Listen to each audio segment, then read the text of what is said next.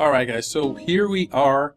Um, I'm logged into my SEMrush and I'm logged into my Moz account as well, the pro account. So what we're going to do is we're going to compare how friendly and how useful they are um, and see which one you need the most, okay?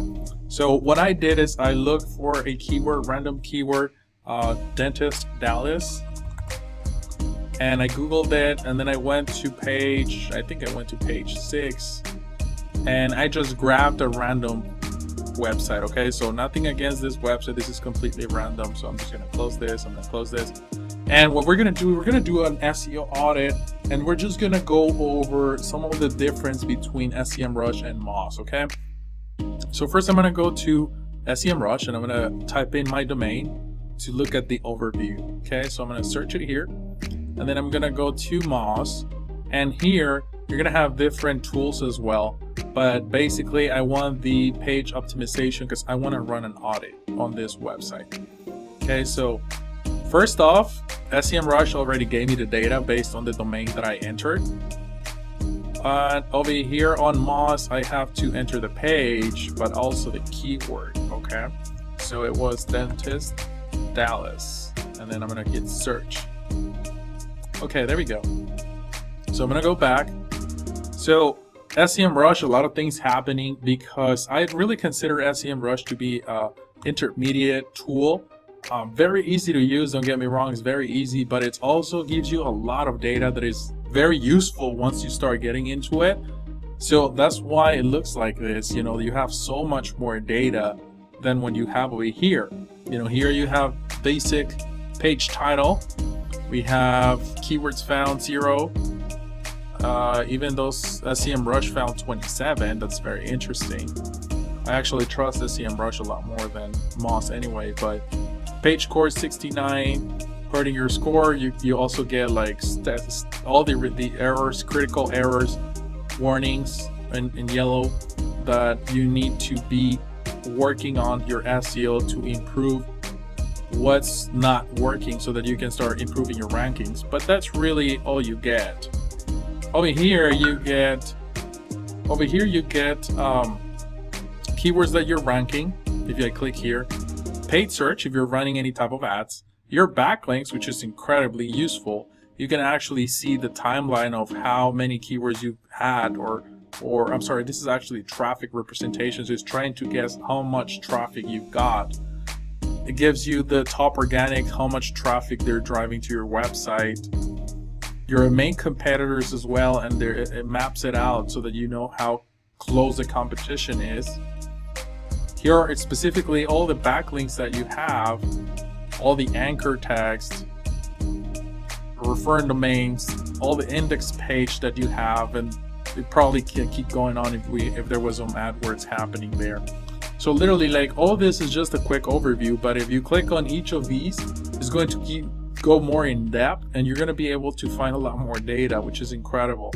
These are all the keywords that are ranking according to this domain right here, which is funny because Moz said there was not, they were not ranking for anything. So that is very interesting. It's the same website, Dentist Dallas TX. Dentist Dallas TX. Yeah, it's the same website. Uh, I definitely trust SEMrush a lot more because I've used it for so many years Moz is one of the, the, the, to be honest, the only thing that I use in Moz, it's the, uh, where's it, Link Explorer, which they just recently changed the name, where you can actually, um, and this is something that only Moz has, uh, you can go into the spam score and you can actually look at at your spam and see what are the chances of being penalized based on your backlinks and then you can start looking at your backlinks domain authority. So this is actually pretty neat from Moz. But aside from that I don't really use many of the tools.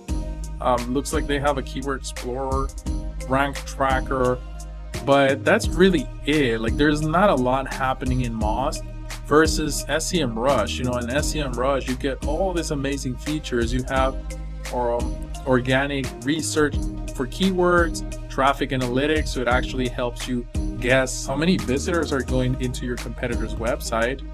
You can do a bunch of advanced keyword research or very basic. helps you with link building, come up with ideas, go after links that your competitors are, are going after. It, it can track and audit ongoing your website, so it tracks your rankings and monitors your your automatic audits. It does a pretty cool audit of your website that I that I can show you real quick. Uh, let me add it because of course it's not there. Test dentist. I'm gonna create the project. I don't want an email, just start the audit right away. So it's running the audit and while it's doing that, I'm gonna just show you a couple of other things that you have here. You have a content template so it can help you come up with ideas for content. It can do uh, so much more. Even this one is one of the newest ones, listing management, which is pretty cool. And then you can start creating reports on an ongoing basis, whether for it's for your client or just for your for your management office, whatever it is. I'm gonna go into the audit right right here. And boom, there you go. So it found a lot more issues, a lot more warnings, and every single thing of these is going to be more in depth if you click on it. So if I click on the errors, it's gonna tell me what the error is and how to fix it. So we're definitely way, way better, um, more advanced, but it's also a lot more useful data, what you get in SEMrush versus Moz. So overall, my favorite is SEMrush. If I were to pick one, I would just pick SEMrush because it has so many features.